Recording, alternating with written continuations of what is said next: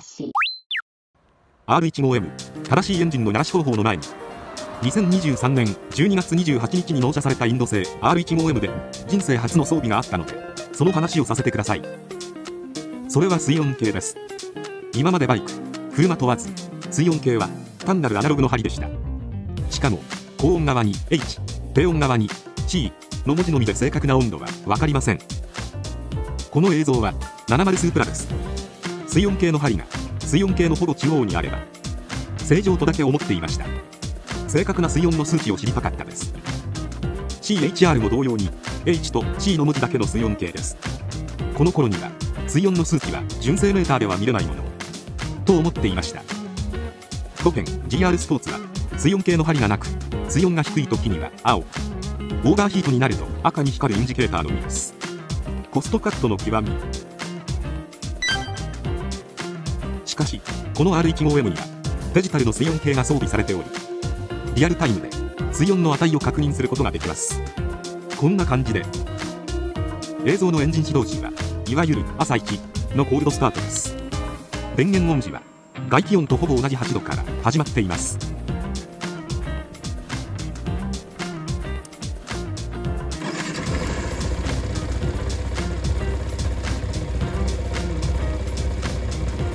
初めて見る水温の値。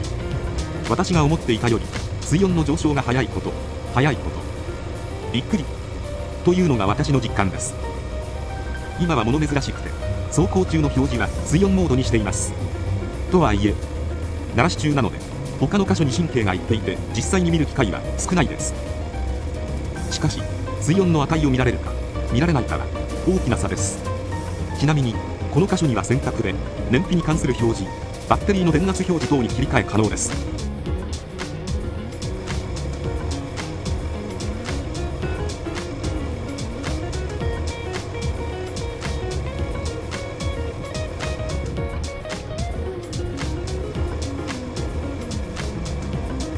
途中早送りをしましたが水温8度始まりでおよそ4分後には64度に達しました。ちなみに私は暖気運転をする派ですので毎回のことです。そして一定距離を走ると85度前後の値を表示しています。これが走行中の標準温度と推測します。針の水温計でいうとおよそ中間付近だと思います。マジェスティ S の流し。これから今日の本題の正しいエンジンの鳴らしに移ります。ここで正しいという意味の確認です。エンジンの鳴らしについては様々な意見考え方があります。そもそもエンジンの鳴らしは不要という考え方もあるでしょうそんな中今回の正しいとは一番信頼ある情報源の発信者からだと思います。すなわちこの R15M を製造した張本人の言い分と考えます。その張本人とはインドヤマハです。ですからここで言う正しいとはインドヤマハが示している鳴らしの方法です。ではどこからその正しい情報を得るかというとそれは説明書からです。したがって今回はインドヤマハが発行している説明書からの引用となります。また鳴らしと一言で言っても私は人間の鳴らしとバイクの鳴らしの2種類に分けられると思っており人間の鳴らしが6バイクの鳴らしが4の比率とも思っています。そしてバイクの鳴らしをさらに深めるとエンジンタイヤブレーキサスペンションなどなどと可動部であれば全ての鳴らしが必要です。その多岐にわたる鳴らしの中で今回フォーカスするのはバイクの鳴らしその中でもエンジンのみです。私自身すなわち人間の鳴らしについては以降動画をアップする予定です。これがその説明書です。私はじっくり説明書を読むタイプなのでこの説明書を見る前は一体何語で書かれているのか全く不明で不安でもありました。説明書を開くとそこには英語の表記でした。ですのでどうにかなると一定の安堵感がありました。多言語であれば全く太刀打ちできなかったでしょう。紙質はちょっとざらつき感がある紙でどことなくチープ感を感じます。もう少しどうにかならなかったかな？というのが正直な印象です。割と高価なバイクなのに。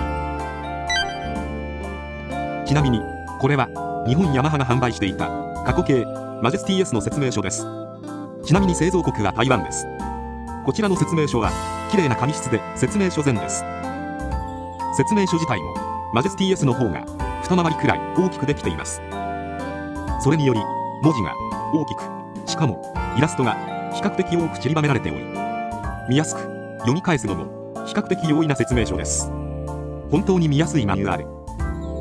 先にこのマジェスティ S の正しいエンジンの鳴らしは 1000km まではエンジン回転を5700回転以下での走行。となっています。というかこれだけです。2021年7月に納車されたマジェスティ S のエンジンの鳴らしは大変でした。前述の通りエンジン回転を抑えながらの鳴らしはスクーターには辛い辛い。発進時にはこの回転ではなかなか速度が伸びず約 50km 毎時が限度。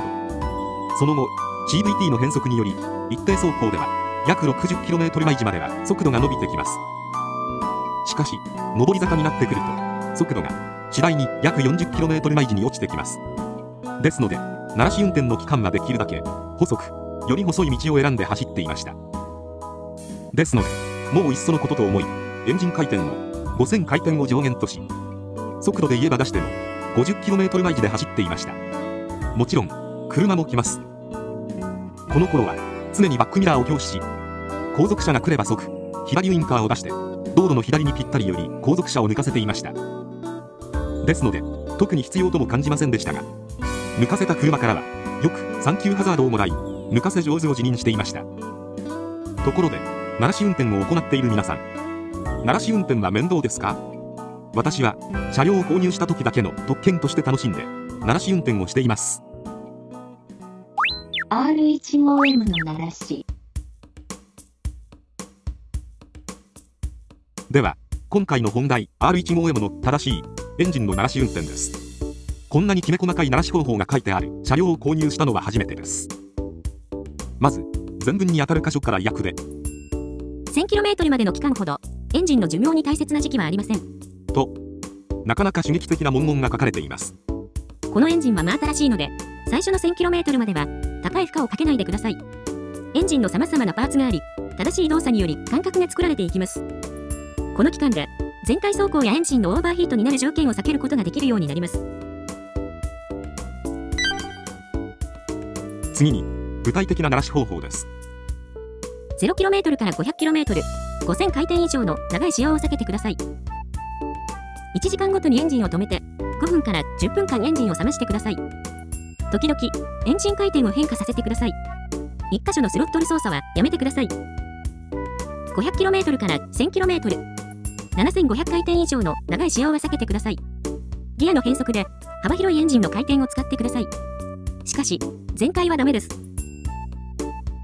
注意 1000km 走行後には、エンジンオイルを確実に交換してください。オイルエレメントやオイルストレーナーも同様に交換してください。タコメーターの高回転域に入れない速度域を守ってください。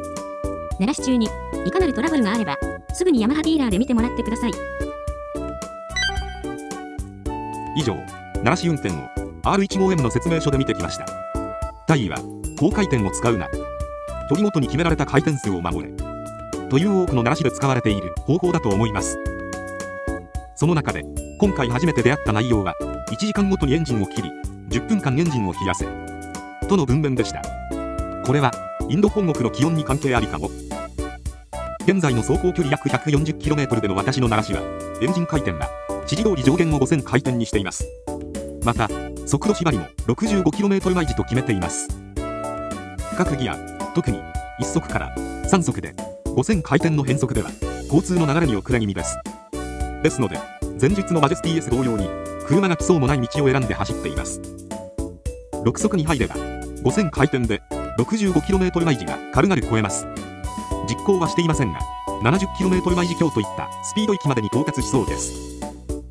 当初奈良市の場所はコペン GR スポーツの奈良市と同じ場所の工業団地にしようと思いました。土日なんて車の走行はほぼほぼゼロ台ですから。しかしバイクである R15M に乗っていると。どうしても工業団地内のストレートだけではなんだかなと物足りなく感じてしまいます。